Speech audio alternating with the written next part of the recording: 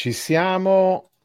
Siamo in diretta, allora ciao a tutti dalla pagina Scienze dello Sport. Oggi parliamo di sport e medicina, tutto quello che c'è dietro, tutto quello che bisognerebbe sapere e conoscere per evitare insomma anche che succedano eh, problemi ovviamente evitabili. E per questo argomento un po' delicato ma molto importante, che poi deve essere ovviamente discusso da tutti i professionisti dello sport, abbiamo con noi un ospite che è Gianfranco Beltrami che, mh, mm, ciao Gianfranco. Ciao, buona serata, ciao. Vi presento la Gianfranco Beltrami, è il vicepresidente nazionale della FMSI, che è la eh, Federazione Medici dello Sport. Uh, lui è medico dello sport e cardiologo in un uh, centro molto importante a Parma, dove anch'io l'anno scorso sono andato più volte come suo consulente. Poi questa pagina è cresciuta troppo, ahimè, ho dovuto interrompere, ma magari avremo altre occasioni. Allora, subito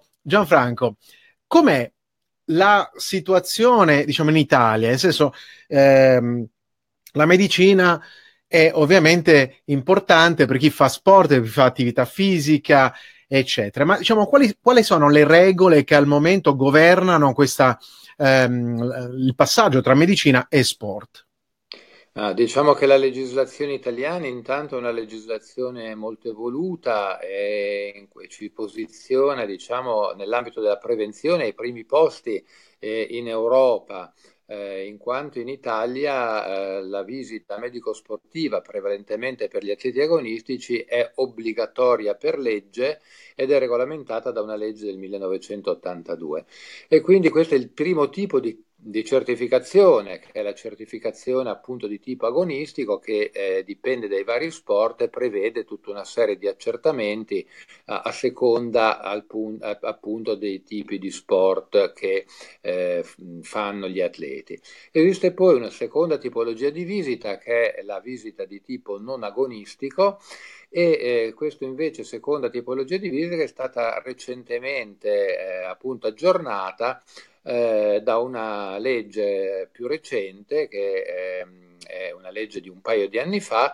che appunto ha, ha diciamo, introdotto alcune novità, la più importante della quale è l'obbligo dell'elettrocardiogramma a riposo anche per la certificazione non agonistica. Ecco, questo eh, infatti è, devo dire, molto importante perché molte volte eh, si trova di fronte, così rispondiamo subito eh, a una domanda, ad esempio, di Rosaria eh, De Blasio. Allora, eh, va fatta perché è un obbligo o va fatta perché è necessaria, perché molte volte insomma l'obbligo di legge dice de- delle cose, però in teoria io vado, che so, a fare attività nei parchi da solo, sul lungomare e così via, e quindi non sono tesserato con nessuno e sono tantissimi, magari gli amatori che fanno corsa o anche fitness, eccetera, per un po' uh, in autonomia. Quindi, siccome non sono tesserato, non sono iscritto nella società, non è un obbligo, non la faccio. È da intendere in questo modo? No, diciamo che eh, la visita comunque medico-sportiva rappresenta un, un ottimo modello di prevenzione, specialmente in Italia in cui è stata abolita la visita di leva, attraverso la visita medico-sportiva si, con, si rilevano delle patologie anche per la prima volta. Molto spesso capita a noi medici di verificare appunto per la prima volta anche a dei ragazzi di 18-20 anni delle patologie che non conoscevano, sia patologie di tipo eh, cardiovascolare, eh, sia anche patologie di tipo muscoloscheletrico, addirittura dei varicoceli. Delle, delle, delle, delle, problematiche di tanti organi e apparati vengono riscontrati per la prima volta con la visita medico-sportiva. Poi abbiamo un altro dato molto importante che in Italia eh, sono stati fatti dei lavori, delle statistiche e eh, la mortalità eh, di morte improvvisa durante l'attività sportiva si è nettamente ridotta da 4 casi su 100.000 unità prima dell'introduzione della legge del 1982 fino ad arrivare a un caso su 100.000 unità. Quindi diciamo che la visita medico-sportiva consente anche di eh, impedire eh, tantissime morti improvvise che vengono appunto evitate attraverso questo screening. Ecco, quindi diciamo che è buona norma anche per coloro che fanno attività fisica, magari non tesserati con nessuna società, eh, almeno una volta all'anno fare una visita medica, magari dal medico dello sport, che insomma è quello che anche per specializzazione di tipo medico ovviamente conosce meglio la tematica e soprattutto conosce le intensità, perché anche da questa pagina tutte, volte, tutte le volte eh, diciamo eh, diamo un consiglio alle persone che poi vanno dal medico dello sport. E quasi sempre, insomma, Gianfranco, eh, ne abbiamo parlato anche eh, da soli Ovviamente l'utente che va dal medico dello sport e ci vanno una volta all'anno non ha un rapporto così né di fiducia né di confidenza con il medico che vede una volta all'anno. Quindi molte volte dice guarda vado in palestra, faccio fitness e quindi magari il medico dello sport si fa un'idea. Poi magari invece questa persona va in palestra ma fa allenamenti di alta intensità, fa HIT, magari ci va tutti i giorni, fa allenamenti importanti. Quindi secondo te ehm, diciamo a livello legislativo, adesso dovrebbe essere collegato fra poco anche un avvocato per gli aspetti legali, ma se si collega se andiamo avanti. Ehm, però Secondo te, che cosa dovrebbe richia- dichiarare, riferire il paziente al medico dello sport? Esattamente l'intensità o solamente il fatto che è un'attività non agonistica o agonistica? Ma sicuramente eh, se si danno anche dei parametri legati all'intensità dello sforzo è eh, sicuramente meglio perché eh, in effetti eh, va detto anche che tanti sportivi, anche non agonisti, fanno degli sforzi di tipo massimale o anche sovramassimale e soltanto con questi tipi di carichi eh, si riesce anche nell'ambito di una visita, di una prova da sforzo a riscontrare delle problematiche. Quindi sicuramente tra il medico e chi eh, effettua la visita ci vuole una collaborazione perché non dimentichiamo che l'interesse di avere l'idoneità ce l'ha soprattutto l'atleta perché nel momento in cui si riescono ad evitare eventi gravi, come tante volte capitano, e direi che capitano sempre di più al giorno d'oggi, diciamo non passa giorno che non ci siano purtroppo eventi anche gravissimi sui campi di gara, appunto perché c'è questa tendenza, specialmente in certi sport,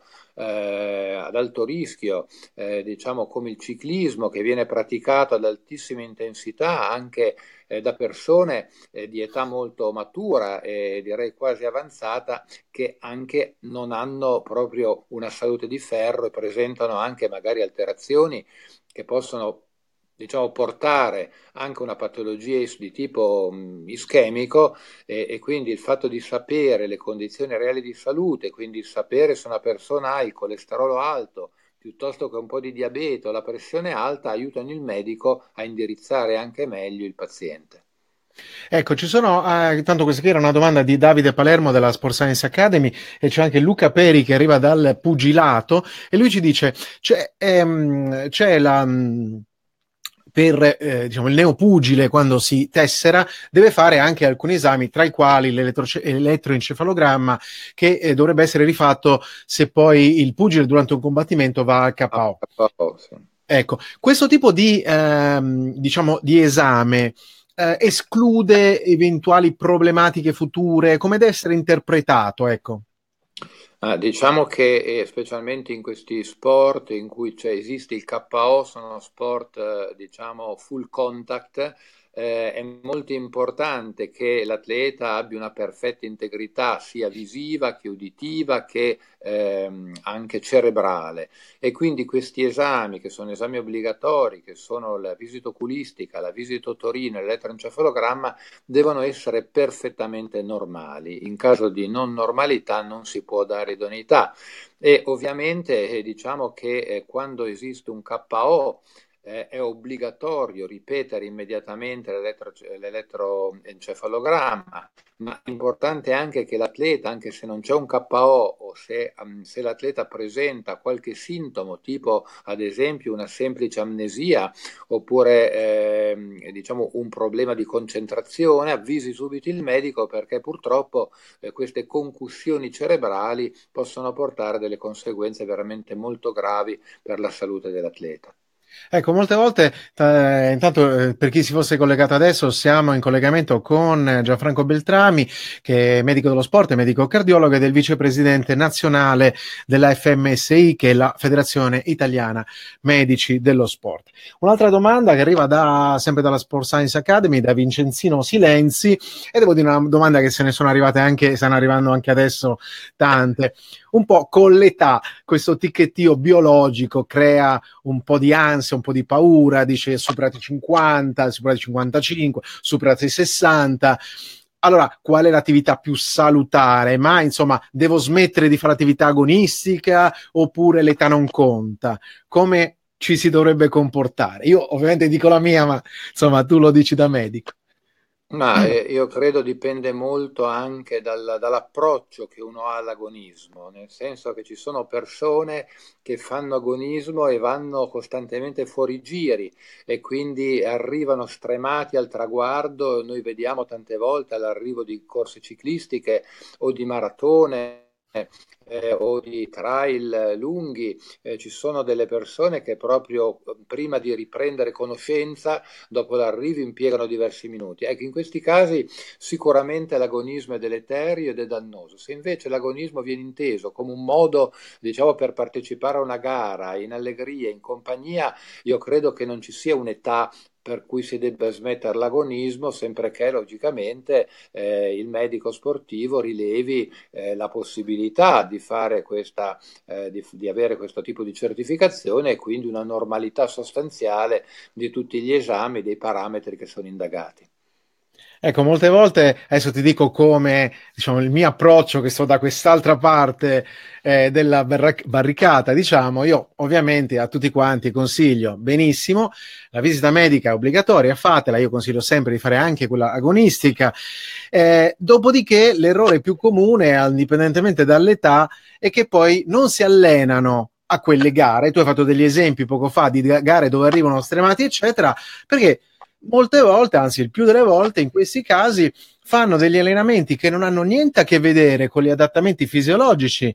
che sono richiesti da quella prestazione, quindi fanno allenamenti molte volte lunghi, lenti, eccetera, quando ahimè in gara ci mettono di tutto, di più, c'è lo stress, c'è l'ansia, c'è la voglia di arrivare, c'è la voglia di competere e quindi fanno una gara per la quale non si sono sinceramente mai allenati. Quindi in questa condizione credo che è eh, veramente da, da suicidi fare queste cose perché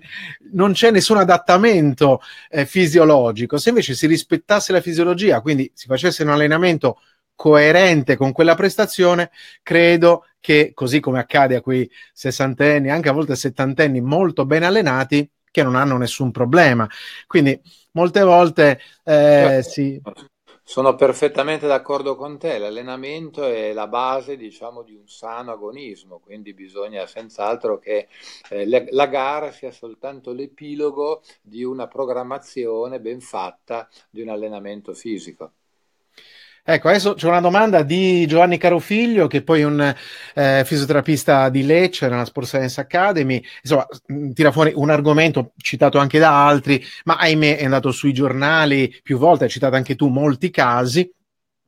Cause di morte improvvisa, cosa sono? Intanto quali sono le linee guida eventualmente da seguire e eventuali screening che, eh, che possono, eh, diciamo, anche anticipare questo, ma insomma già il nome dice, eh, ahimè, eh, certo. succede. Com'è la situazione? Diciamo che molto spesso diciamo, si hanno casi di morte improvvisa anche con eh, accertamenti completamente normali e quindi anche con un elettrocardiogramma a riposo, sotto sforzo, perfettamente nella normalità. Ecco, in questi casi eh, il problema eh, si pone eh, perché la legge non prevede eh, alcuni accertamenti che invece potrebbero essere consigliati, esempio un ecocardiogramma che eh, può rappresentare comunque un successivo step specialmente importante, specialmente per atleti che fanno certi tipi di sport. E poi ci sono delle problematiche di tipo genetico. Eh, difatti noi medici dello sport chiediamo sempre, è molto importante la storia clinica del paziente, sapere se nella famiglia dell'atleta ci sono dei casi di morte improvvisa e che in questi casi noi facciamo fare un'indagine genetica che è un'indagine molto costosa e comunque non, richiede molti mesi per essere effettuata, però se in una famiglia esistono diversi casi di morte improvvisa, è corretto affrontare anche questo tipo di accertamento che consente appunto di valutare una predisposizione genetica ad alcune patologie, tipo la sindrome di Brugada, ad altre problematiche aritmiche, che purtroppo provocano la morte improvvisa. Ecco, su questo volevo proprio dare un, eh, spezzare una lancia per tutti coloro, ovviamente atleti, che vanno dal medico e vedono nella parte preliminare della visita, nell'anamnesi, quelle cose un po', dice sì, sì, no, no, c'è niente, tutta posa, andiamo avanti. Ecco, come invece ha detto, è proprio l'anamnesi della storia personale e anche della famiglia è fondamentale perché poi il bravo medico già dall'anamnesi riesce ad avere un quadro a volte anche vicino al 50% di quello che potrebbero essere i fattori di rischio eccetera quindi non sottovalutate nulla perché è importante, fondamentale e mai trascurare. Argomento adesso che riguarda le arti marziali, un'altra domanda della, della nostra Academy, Peppe Barba, che è un eh, coach delle MMA, arti marziali miste. Allora, nella... Mm, l'ultimo elenco del CONI, eh, non esistono tutte sono arti marziali sono, sono, tantissime, sono innumerevoli, eccetera. Quindi c'è un elenco e molte volte non risultano tutte. Magari ce ne sono certe solo locali, tipo ha citato Sistrumpa, che pre- credo che sia presente solo in Sardegna, però magari non ci sono alcune ar- arti marziali. Ecco, in questo caso molte volte nasce il problema, tipo il medico dello sport non ce l'ha nella, nella sua griglia, nella sua lista, e quindi nasce un po' di incomprensione. In questi casi cosa si deve fare? Ma diciamo che effettivamente il CONI è il CONI che riconosce le varie federazioni sportive. Questo processo di riconoscimento deve essere portato avanti dalle singole eh, federazioni o istituzioni. Credo che il medico dello sport nel momento debba distinguere tra arti marziali light contact, in cui è sufficiente fare una visita normale, quindi con solo elettrocardiogramma, riposo sotto sforzo, spirometrie, esamurine, visita, eh, rispetto invece alle arti marziali full contact in cui è previsto il KO e in questi casi diciamo, è obbligatoria anche l'elettroencefalogramma, come dicevamo prima, la visita oculistica, la visita Torino e una maggiore attenzione perché appunto queste discipline possono portare più frequentemente a dei danni cerebrali. Quindi se non è nell'elenco io credo che la differenziazione vada fatta sulla base del full contact o del light contact e okay. eh, diciamo, attenersi alle disposizioni di legge.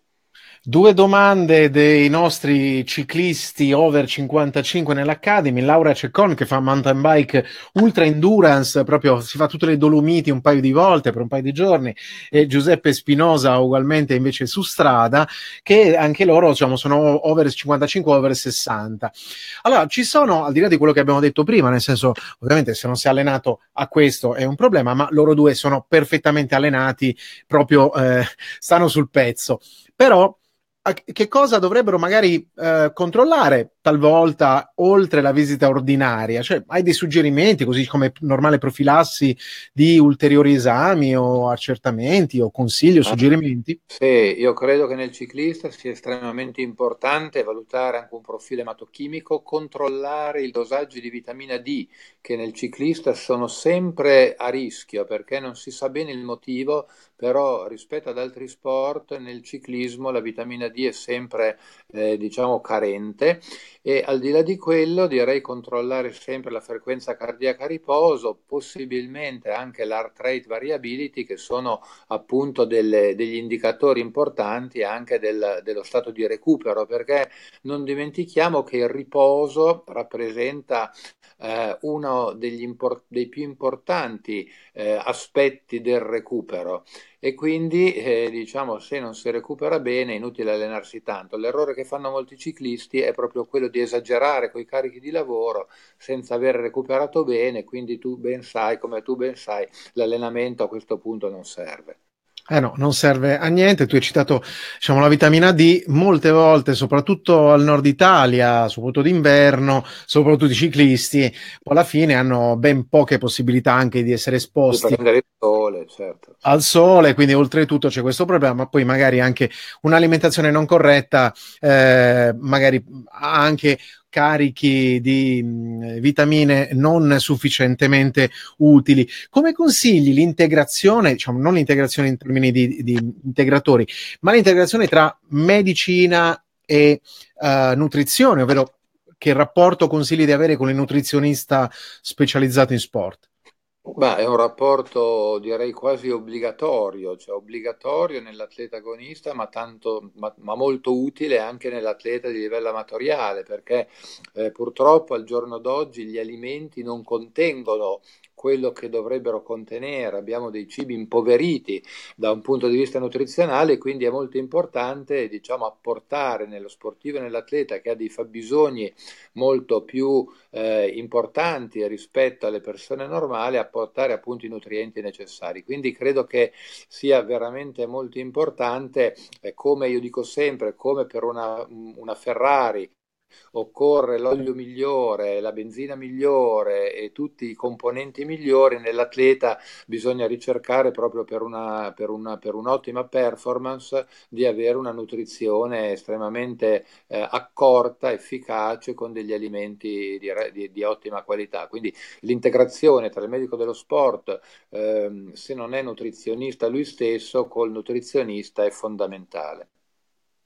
Ecco, c'è un'altra domanda, adesso sempre ciclismo, cioè sono tantissimi con noi. Daniele della Tommasina che ci dice: negli ultimi anni la federazione, o comunque ehm, la Federazione Medici dello Sport, ha levato per quanto riguarda la, i ciclisti agonisti 17-18 anni che entrano in categoria, eh, l'esame, l'elettrocardio Doppler dovrebbe essere e anche la visita del, ehm, del sangue. Ehm, tanto mh, perché, eh, ma poi giustamente da, da, tecnico lui dice: Ma andrà bene, non è che poi la dobbiamo fare comunque, come possiamo tutelarci, possiamo stare comunque tranquilli, eccetera. Eh, ma io credo che diciamo, il medico dello sport debba seguire gli atleti non soltanto nel momento, una volta all'anno, che eh, fanno la visita di tipo agonistico, ma bisognerebbe che fossero seguiti tutto l'anno. E quindi in questi casi diciamo anche appunto da un'anamnesi ben fatta, dalla, dal sentire le condizioni dell'atleta, eh, cap- cercando di capire quelle che sono le sue problematiche, le sue carenze, possono scaturire delle richieste di esami magari supplettivi rispetto alla legge dell'82. È chiaro che questa legge non è mai stata cambiata perché è un problema anche di costi, perché molto spesso sappiamo che sono le società sportive a dover sostenere i costi di queste visite e quindi fare degli esami come l'ecocardio-doppler, come eh, magari un profilo ematico ben fatto, o, eh, alle volte è facile spendere anche qualche centinaio di euro. Quindi rendere questi esami obbligatori diventa anche eh, un ostacolo alla pratica sportiva e quindi quindi bisogna che sia il medico che su casi selezionati, eh, diciamo valutando appunto eh, da una visita clinica dalla storia dell'atleta, eh, sia, eh, sia il medico che prescrive ulteriori accertamenti. Ecco, molte volte nasce eh, un po' così il dubbio, no? Perché io insomma lo, lo, dico sempre col sorriso, perché d'altronde tutti guardiamo anche un po' di televisione ogni tanto e a volte c'è qualche esperto al di là insomma, della sua professione, però qualcuno che un po' invade i campi, dà consigli un po' eh, che non hanno molto senso e quindi il cons- magari qualche volta c'è qualcuno che dice ma come in televisione mi hanno detto che l'unica cosa salutare è la corsa lenta, piano, quando sono stanco fermati, eh, perché altrimenti chissà che succede. Però, insomma, prima l'abbiamo un po' accennato, questo ti sembra, anche seguendo le linee guida internazionali, il miglior consiglio da dare a chi vuole entrare in forma e migliorare le prestazioni? No, direi che diciamo ogni persona ha le sue caratteristiche, ha naturalmente deve avere una ricetta un po' individualizzata, però eh, non è assolutamente vero che la camminata o la corsa lenta siano eh, diciamo migliori invece di un allenamento ben fatto, magari con delle ripetute o con dei carichi di lavoro differenziati durante la giornata e durante la settimana. È chiaro che dipende un pochettino dalla, per quello che riguarda eh, la, la, salute è molto importante allenare tutte le componenti eh, diciamo importanti eh, che sono non solo la, la, la, resistenza ma anche la forza piuttosto che l'equilibrio, eh, l'allungamento, la propriocettività per cui diciamo che eh, tutte queste componenti andrebbero allenate sempre è chiaro che ognuno ha la sua ricetta a seconda di quelle eh, che sono le caratteristiche fisiche individuali. Ecco, su questo volevo, visto che lei è un po' citato, volevo dire che le stesse regole, quindi sia l'attività eh, prevalentemente aerobica ad alta intensità, poi che quella anaerobica, soprattutto per la forza, viene consigliata dalle linee guida internazionali, utile, utilissima anche per gli over 65, dove eh, volevo giusto dire che insomma Gianfranco Beltrami è stato ed è nostro consulente per un progetto che poi in questi giorni sta partendo in 40 eh, palestre in una regione italiana, in Sardegna, eh, grazie poi alla grande partecipazione del, del eh, eh, comitato regionale del CONI, presidente Fara che salutiamo, e proprio in quel caso eh, gli anziani non hanno quell'attività diciamo di ginnastica dolce molto nota, ma è molto più spostata in attività intensa che segue le linee guida internazionali e i benefici a livello scientifico con varie pubblicazioni sono, eh, sono stati molto utili e sono veramente molto utili. Quindi anche per gli over 65 che magari non hanno fatto agonismo, ma che vogliono fare attività, consiglieresti di fare comunque uno screening medico di che tipo? Ah, quello assolutamente sì, cioè deve essere uno screening che prevede diciamo, una raccolta anamnestica importante di tutte le varie problematiche e poi sicuramente una valutazione approfondita di livello cardiologico, respiratorio ematochimico. Poi dopo il medico durante la visita, nel momento in cui vede che c'è una problematica per dire un ginocchio, un'anca, oh, sarà il medico stesso a prescrivere quell'esame per eh, appunto approfondire una certa eventuale patologia eh, che eh, potrebbe essere eh, diciamo con, che potrebbe controindicare un certo tipo di attività fisica. Quindi io credo che la visita attenta curata supportata da una buona anamnesi sia la base comunque fondamentale di ogni controllo Ecco, c'è un'altra domanda di Massimo che ci chiede, quindi anche su quello che ci siamo detti prima, con la visita medica eh, che riguarda, che mm, diciamo, prevede l'elettrocardiogramma a riposo, l'ECG a riposo, che tipo di patologie sicuramente si escludono? Allora, si possono escludere, eh, diciamo ad esempio, un pregresso infarto, si possono escludere delle aritmie importanti, tipo ad esempio la fibrillazione atriale, si possono escludere eh, i blocchi di branca, cioè tante patologie, ad esempio la patologia coronarica, eh, diciamo se a uno stadio grave eh, dà dei segni anche nell'elettrocardiogramma riposo, invece quando la patologia è sul nascere e a livello eh, diciamo iniziale occorre una prova da sforzo però già l'elettrocardiogramma a riposo eh, diciamo, è comunque una buona base di screening. È chiaro che eh, il, è già stato un grosso passo avanti eh, con la legge Balduzzi aver introdotto l'elettrocardiogramma a riposo due anni fa, perché prima cioè la visita non agonistica veniva fatta dal medico curante eh, diciamo senza nessun esame e invece io credo che sia molto utile anche questo ECG a riposo perché consente comunque di, di, di, di, di approfondire ad esempio eh, una persona che è ipertesa e ha avuto la, la pressione alta per un certo tempo, questo eh, porta delle, a delle alterazioni anche dell'elettrocardiogramma a riposo. In quali casi durante la visita medica non agonistica invece si rende necessario di fare anche il, ehm, l'ECG sotto sforzo? Ecco, diciamo che quando c'è qualche anomalia dell'elettrocardiogramma a riposo si richiede l'elettrocardiogramma sotto sforzo, oppure quando il paziente eh, eh, riferisce, ad esempio, di avere un po' di affanno di respiro eh, per, per, dire quando eh, fa attività, oppure eh, qualche dolore, eh, diciamo che è il paziente stesso che orienta, oppure noi lo richiediamo sempre quando, ad esempio, uno ha il colesterolo molto alto, oppure quando uno ha una familiarità per cardiopatia ischemica. Ci sono, sono tante le componenti che orientano il medico a richiedere questo esame sotto sforzo. Ecco, e qui ci stiamo spostando un po' nell'area un pochino più agonistica con l'ECG sotto sforzo, un'altra domanda che arriva dall'Academy. Molte volte capita che magari il test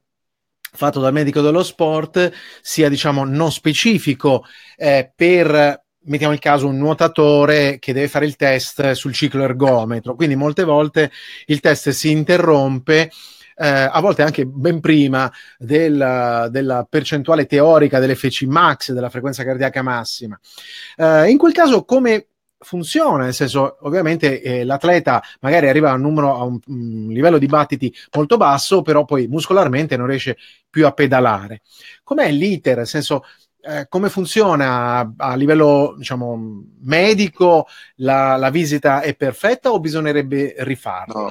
No, va sicuramente rifatta, diciamo le linee guida prevedono che si raggiunga, cioè io faccio fare sempre un test da sforzo massimale e quindi bisogna sempre raggiungere la frequenza cardiaca massima. È chiaro che nel momento in cui non si riesce a raggiungere con eh, un, o col tapirulan o con eh, diciamo il, il ciclo ergometro si può possono usare altri ergometri, eh, ad esempio si può anche monitorare con un holter, cioè si una, si fa una registrazione in continuo dell'elettrocardiogramma e si manda l'atleta ad allenarsi e poi si valuta l'elettrocardiogramma durante l'allenamento. Quindi diciamo che eh, il test massimale va sempre fatto, se non si raggiunge la frequenza cardiaca o il carico eh, necessario, ci sono altri metodi per valutare appieno l'efficienza cardiovascolare sotto sforzo massimo. Ecco, a livello medico, eh, voi quando intendete la frequenza cardiaca massima è quella teorica massima ricavata dalle formule. Eh, ho perso qualche battuta, non ho... Ah no, dicevo, a livello medico, perché poi diciamo a livello di allenamento le cose stanno un po' diversamente, ma durante una visita medica quello che voi definite come livello di frequenza cardiaca massima è diciamo, la stima teorica proveniente dalle formule. Sì, diciamo che su, deve superare almeno l'80-85% di un valore che è 220 meno gli anni, però diciamo è sempre consigliabile, io faccio fare sempre la prova da sforzo massimale fino all'esaurimento muscolare, cioè vale a dire fino a quando l'atleta non ne può più e chiede lui di fermarsi. Che sarebbe la norma. Allora, su questo eh, c'è un'altra domanda che, che è proprio simile, perché molte volte capita che magari il medico dello sport durante questa visita medica ehm, insomma, anche perché poi magari l'atleta, il tecnico lo chiede, eccetera, e quindi dia dei parametri, dei parametri, questa è la tua frequenza cardiaca, questa è la tua soglia anaerobica, eccetera. Ma poi giustamente l'allenatore si rende conto che non c'è molta rispondenza eh, tra quel tipo di dato e quello che poi viene in, su, succede in campo, in piscina, eccetera. Allora, anche se il test, diciamo, è simile, perché in teoria c'è un ergometro, in teoria c'è un, c'è un test incrementale, però eh, tu ritieni che sia meglio fare eh, le, le cose unite, cioè durante la visita medica anche qualcosa che riguardi la performance, oppure scindere, quindi visita medica e poi in un altro momento, in un'altra condizione più specifica, una visita che dia i parametri reali da utilizzare nella performance. Ma eh, intanto devo dire che sono pochi i medici dello sport che sono preparati per fare, diciamo, un'indagine eh, del tipo che tu hai detto. Io credo che sia sempre meglio scindere le due cose, anche perché noi sappiamo bene che c'è una bella differenza tra il fare una prova da sforzo su un ciclergometro piuttosto che utilizzando la propria bicicletta. E quindi credo che sia bene che l'allenatore faccia l'allenatore, il medico faccia il medico e che vengano fisse le due cose. Ecco, intanto c'è un commento eh, di Giuseppe Spinosa dell'Academy, dice nell'ultima visita medica il medico gli ha detto la trovo ben conservato, quindi insomma è andata, è andata bene. Allora, c'è una, una, domanda che riguarda Alessandro Bigi dell'Academy, come invece eh, ritieni Uh, utile poter inserire, magari non durante la visita medica, ma durante eh, una valutazione generale, l'HRV, la variabilità cardiaca? Ma direi che è un presidio molto molto utile, appunto come dicevamo prima, per monitorare l'allenamento, eh, molto utile per valutare il recupero e, e quindi credo che sia una, una, una, una cosa eh, indispensabile. A livello medico e anche importante per evidenziare dei momenti di stress, di overtraining e quindi eh, credo che sia una cosa che pur non essendo ancora entrata, eh, direi a pieno titolo nella, nell'ambito della, della, della, programmazione dell'allenamento, ha una sua enorme dignità e validità e credo che eh, sia bene eh, diciamo che anche i medici comincino a conoscerla e a valutarla per quello che può dare.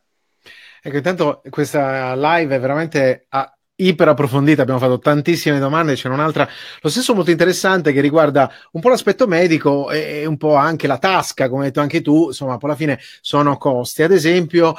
la visita medica agonistica prevede che ci, eh, venga indicato lo sport, la disciplina alla quale tu sei tesserato a livello agonistico. Ma molte volte capita che quell'atleta, che so, vedi il caso del triathlon, poi faccia anche gare del ciclismo, gare dell'atletica, gare del nuoto e quindi sarebbero quattro le federazioni incluse e molte volte capita che eh, non venga accettato il certificato con la scritta che so nuoto piuttosto che ciclismo nell'atletica o nel triathlon. È una norma, si può trovare il modo di risolverla? Diciamo che, che questo è corretto detto, diciamo che la visita medico-sportiva è sport specifica, quindi il medico per legge deve fare un certificato per ogni sport, quindi la visita è sempre quella, però al termine della visita devono essere rilasciati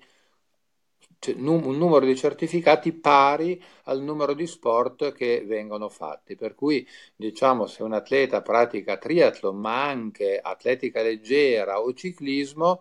eh, al termine della visita, che è sempre quella, è una visita, devono essere rilasciati tre certificati distinti. Eh, che è la ah. cosa che noi facciamo normalmente, comunemente, rilasciando un duplicato in originale.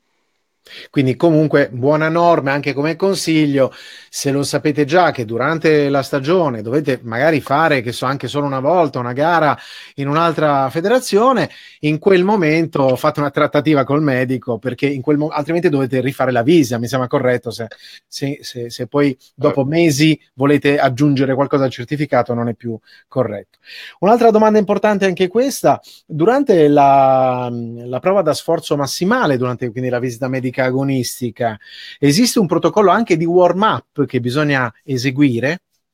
Sì, eh, diciamo che eh, ci sono proprio dei protocolli cardiologici, in genere si fa fare, ma basta poco, un paio di minuti, eh, due o tre minuti di warm up e poi comunque la prova è sempre incrementale, quindi si parte sempre con 30 watt, poi si va a 60, 90, quindi diciamo ehm, è comunque eh, il warm up anche facendo diciamo due minuti a 30 watt e due minuti a 60 watt per un atleta di solito eh, questo è già un buon riscaldamento. Ecco, credo che sia l'ultima domanda, te la faccio io, eh, perché abbiamo parlato molto di sport, ma poi forse la, la, stragrande maggioranza delle persone, sia che seguono una pagina, ma che fanno attività fisica in Italia, sono più eh, tendenzialmente nell'area del fitness, quindi comunque tesserate non ad una federazione, ma ad un ente di promozione per la, insomma, la, la propria ASD. Ecco, molte volte capita, insomma, arrivano delle domande che eh, qualche medico eh, produce dei certificati dove c'è la dicitura stato di buona salute, eccetera, eccetera, o addirittura cose anche precedenti. Eh, esattamente, quindi giusto per eh, la, la sgombrare,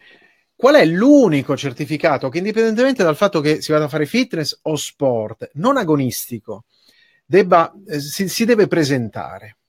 Allora, diciamo che la legge prevede per eh, gli enti di promozione sportiva affiliati al CONI il certificato non agonistico. Il certificato non agonistico eh, lo può fare il medico specialista in medicina dello sport, il medico di famiglia e il pediatra di libera scelta limitatamente ai propri assistiti, oppure i medici della Federazione Medico Sportiva Italiana che pur non essendo specialisti hanno fatto il corso per potersi iscrivere alla federazione e quindi per gli enti di promozione è obbligatorio questo tipo di certificato non agonistico. Poi esiste il certificato, diciamo, ludico-motorio. Questo tipo di certificato ludico-motorio non è obbligatorio per legge, però, però ci sono alcune strutture e alcune palestre che possono legittimamente richiederlo e lo fanno per motivi di tipo assicurativo, perché eh, ci sono alcune assicurazioni che eh, nel momento in cui i, tesserati di una palestra hanno il certificato medico abbattono i costi dell'assicurazione e quindi diciamo una palestra privata che non è ente di promozione ha legittimamente la possibilità di dire se volete iscrivervi da me portate il certificato di tipo eh, ludico-motorio. Il certificato di tipo ludico-motorio può, può farlo qualunque medico, non c'è limitazione, basta la laurea in medicina solo però se questa ASD alla quale si presenta il certificato non è tesserata con un ente di promozione sportiva o con una federazione. Assolutamente sì, se invece è tesserata, allora lì occorre il certificato non agonistico, come dico, che deve essere rilasciato soltanto da quelle figure mediche professionali e con l'elettrocardiogramma. Ecco. E il certificato, diciamo, precedente al decreto Balduzzi, quindi eh, lo stato di salute, eccetera, che fine hanno fatto? Niente, diciamo che non sono, non hanno più nessun obbligo, nessun valore legale, diciamo si il decreto Balducci ha, ha voluto liberalizzare in un certo senso l'attività fisica, facendo come in tanti altri paesi europei, come negli Stati Uniti, per cui il certificato non è obbligatorio e quindi uno può potenzialmente iscriversi ad una palestra firmando una liberatoria e non presentando alcun certificato. Io lo ritengo una cosa non corretta perché comunque, diciamo, in questo modo eh, si dà la possibilità a persone magari a rischio, affette da patologie importanti, eh, di eh, fare eh, sforzi e, eh, fisici e, e, attività sportive che possono essere veramente pericolose per la salute. Quindi secondo me non è eh, tanto corretto e mh, so che in tantissime palestre comunque il certificato, pur non essendo obbligatorio per legge, viene richiesto. Ecco, su questo infatti eh, ci doveva essere il collegamento dell'avvocato Cervone che però ha avuto un problema di linea proprio perché poi diciamo, c'è un aspetto medico, un aspetto legale, però poi alla fine in una palestra, eh, se dovesse capitare ahimè qualcosa, nascono del, degli sviluppi anche di tipo penale che insomma bisogna anche essere attenti e capire se poi è il caso di far entrare persone senza certificato o stare anche attenti perché mi sembra di ricordare dalla legge che la, mm, eh, diciamo, il non obbligo del certificato valga quando l'attività non è codificata in modo preciso, nel senso che è difficile dire vado a fare attività ludica quando invece vai in palestra esattamente lunedì, mercoledì, venerdì, esattamente dalle 17 alle 18 e esattamente per seguire quel corso per tot tempo. Certo, sì, sì, la mia opinione è che il certificato è comunque valido, cioè comunque utile e necessario. È chiaro che eh, diciamo, il legislatore ha voluto togliere l'obbligo del certificato che alle volte può essere di ostacolo alla pratica sportiva per il costo che questo certificato ha. Eh, però io dico, ci sono tantissimi atleti che spendono tanti soldi, diciamo che il certificato medico ha un costo eh, che può avere una maglietta o un paio di calze e quindi credo che sia più importante tutelare la salute che magari, no, per non parlare delle biciclette che costano migliaia di euro. Anche il caschetto, ho fatto eh, un regalo una volta e solo il casco costava tantissimo, du- due o tre visite mediche. Allora, ultima domanda, te la faccio io perché eh, questo mi sembrava importante, mi sono dimenticato la, la domanda, perché sa, l'età anche, eh, qual era la domanda che dovevamo fare? Va bene, eh, me la, me la, non me la sono scritta e me la sono completamente dimenticata. Va bene, allora eh, chiudiamo la diretta, è stato veramente eh, bello averti, Gianfranco Beltrami, che ricordo eh, medico dello sport e cardiologo, e vicepresidente nazionale dell'FMSI e lui è, è, responsabile poi nei centri di medicina dello sport eh, di Parma, che sono in due eh, sedi, non mi ricordo la via di entrambi, se ce lo puoi dire. Via Galilei il primo, quello più grande, l'altro è inserito nel campus eh, universitario al centro Ercole Negri, è una bellissima struttura, veramente moderna, una delle più belle d'Italia, dove sei stata anche tu, dove speriamo di riaverti presto perché avevi fatto il pienone quella sera e quindi eh, ancora molti rimpiangono e vogliono riaverti rimpiangono un po' esagerato, ma vabbè, no, conto, conto di tornare a Parma a brevissimo, anzi prometto che domani ti manderò una mail con due o tre date, presumibilmente verso metà maggio, eh, in modo da insomma di fare un altro incontro, anche perché Parma poi è una città che mi piace particolarmente e quindi sicuramente tornerò. Allora, grazie davvero, consiglio a tutti di rivedere la diretta che fra qualche minuto sarà disponibile, perché ci sono molti, molti spunti importanti da portare a casa, perché poi l'aspetto di della medicina con lo sport è qualcosa che deve andare sempre a braccetto. Io consiglio sempre, lo dico anche adesso che c'è Gianfranco Beltrami, il, l'alleato dell'allenatore è il medico dello sport perché va consultato, va, va fatto un rapporto di fiducia con il medico dello sport, quasi come fosse un, un componente dello staff, anche se molte volte insomma, è difficile farlo, perché eh, diciamo, non è un medico per una malattia, è un medico per lo sport. Quindi molte volte durante l'anno possono anche capitare delle cose dove l'allenatore non sa se ha sconfinato, così dire, dalla fisiologia alla medicina e quindi anche, diciamo, qualche volta può capitare il dubbio, quindi avere un buon rapporto col medico dello sport io lo consiglio, credo che anche i medici dello sport lo vogliano questo rapporto con gli allenatori, o no? Assolutamente sì, direi che è fondamentale, cioè il lavorare in gruppo, lavorare in staff è la cosa migliore proprio sia per tutelare la salute e anche per dare allo sportivo le migliori soddisfazioni. Perfetto, grazie ancora Gianfranco, grazie a tutti. Grazie Mario, a presto. Ciao Alla prossima. Buona Ciao a tutti. a tutti. Buona serata a tutti. Grazie.